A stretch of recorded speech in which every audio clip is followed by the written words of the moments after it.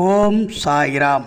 என் அன்பு குழந்தையே உன்னை நம்ப வைத்து ஏமாற்றியவர் உன் கண்ணீருக்கு காரணமானவர்.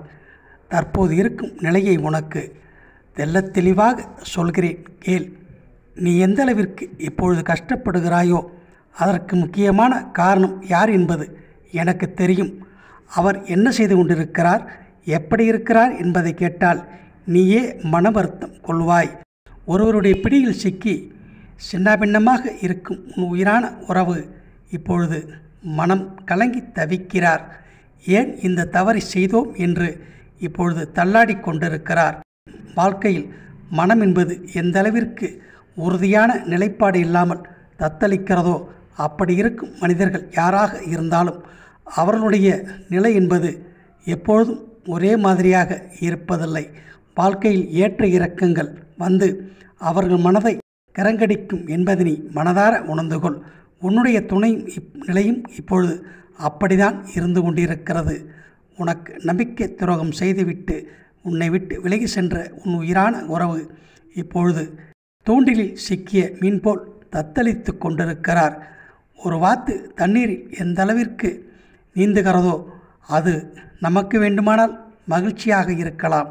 ஆனால் அதனுடைய கால்கள் எந்த அளவிற்கு படாத பாடும் என்பதை அந்த வாத்துக்கு தான் தெரியும்.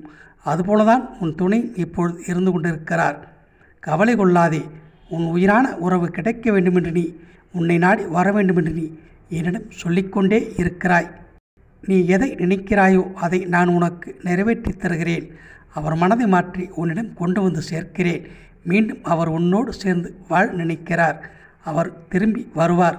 அவரை ஏற்றுக்கொள். அவரை மன்னித்து ஏற்றுக்கொள். உன்னுடைய வாழ்க்கையில் இனி இப்படி ஒரு நிலை உனக்கு ஏற்படாதவாறு நான் செய்து உன் உயிரான உறவை உன்னிடம் கொண்டு வந்து சேர்க்கிறேன். வாழ்க்கை என்பது சில நேரங்களில் சந்தோஷமாக இருக்கலாம். அப்படி இருக்கிறதே என்று நாம் ஆணவம் கொள்ளக்கூடாது.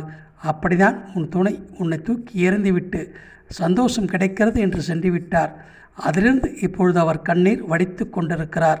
நீ எந்த அளவிற்கு கண்ணீர் வடித்தாயோ அதே போல உன் துணையும் கண்ணீர் வடித்து கொண்டிருக்கிறார். அதிலிருந்து அவரை மீட்டு உன்னிடம் கொண்டு வந்து சேர்க்கிறேன். மன்னித்து ஏற்றுக்கொள். உன் வாழ்க்கை மீண்டும் மகிழ்ச்சியாக மாறும். ஓம் சாகிராம் வாழ்க வளமுடன்.